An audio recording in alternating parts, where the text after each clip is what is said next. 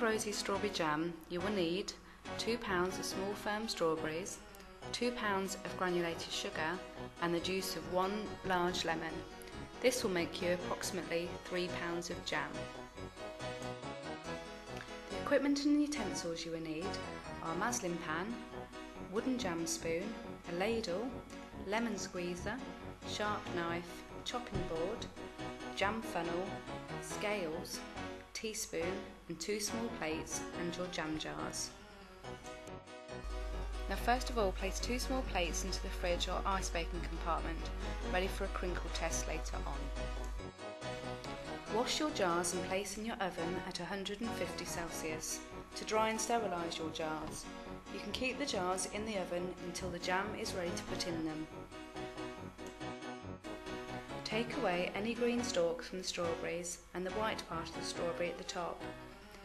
This is a process called hulling. Avoid washing the strawberries if possible, as any excess water could ruin your jam. At most, rinse them gently in a colander.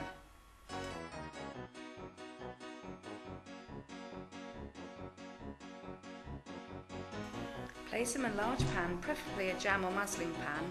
Maslin pans are better as they have an encapsulated base for even heat distribution.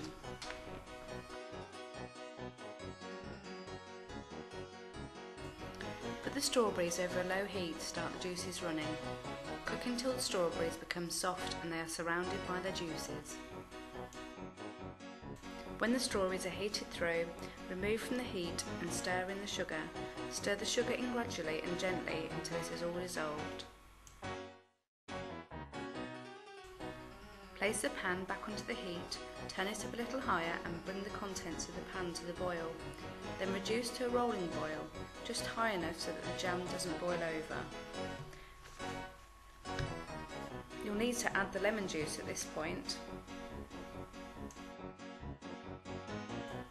Stir very occasionally to prevent sticking, but each time you stir the jam it will cool slightly and break up the strawberries, so don't overdo it. When the jam has darkened and thickened slightly, usually after about 10 minutes, you can test for a set.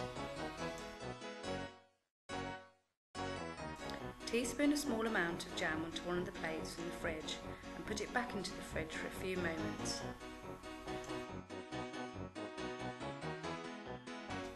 To test, gently push the edge of the jam onto the plate to see if it crinkles.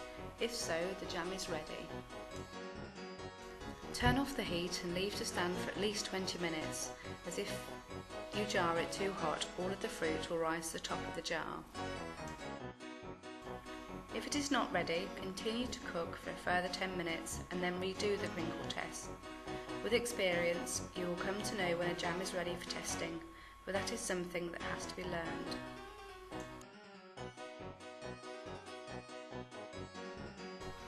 Remove your jars from the oven. If there is sugar foam on the surface of the jam, this can be disposed by stirring in a knob of butter. The butter will not change the taste of the jam.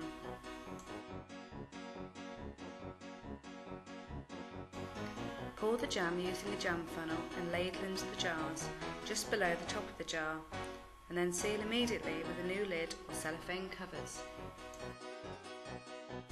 Jam will keep in a cool dark place for several years. There is no need to refrigerate, either open or unopened. And that's it, you've made your jam. Leave to stand undisturbed overnight, then make some scones and enjoy.